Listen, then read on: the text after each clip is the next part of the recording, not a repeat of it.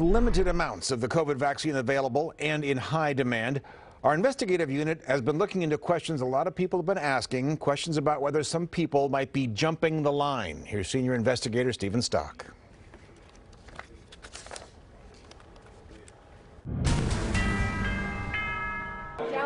Paramedics, EMTs, and firefighters lined up last Friday at Hayward St. Rose Hospital.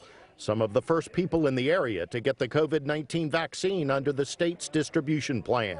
Among that first wave, NBC Bay Area news crews spotted Fred Naranjo, the owner of an insurance company in San Francisco. Naranjo is not a medical worker. Instead, records show the 64 year old is a frequent political donor to local candidates, and he's a member of the six person board of directors at St. Rose Hospital. First in the room, back in the line.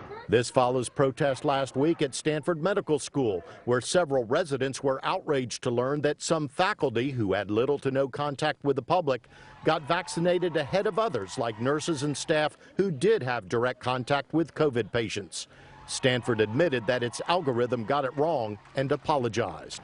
Any computer expert will tell you garbage in, garbage out. Dr. Christine Cassel is Senior Advisor for Strategy and Policy and a bioethicist at UCSF's Department of Medicine. I think it's a very healthy thing for the society that we've begun to talk openly about rationing and begun to examine those values. According to data provided by St. Rose, the hospital oversaw the distribution of 2,000 separate COVID vaccine shots.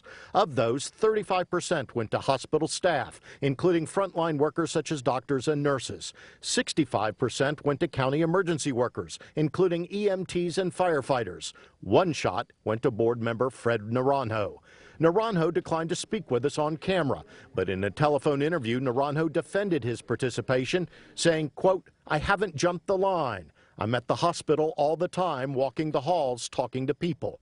The main thing I wanted to do is show people to take the vaccine and not to be afraid, that it is safe, that they need to be protected.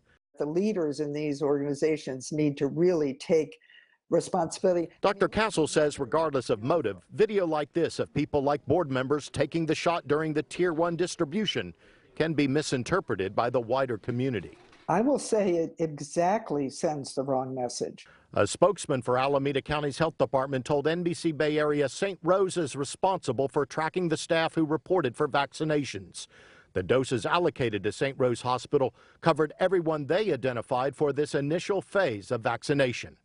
A spokesman for St. Rose told me that no other board members took the vaccine and that hospital officials made the conscious decision to include Naranjo in this first round of shots because, quote, he's been a leader promoting the safety and efficacy of this vaccine. I'm Stephen Stock, NBC Bay Area News.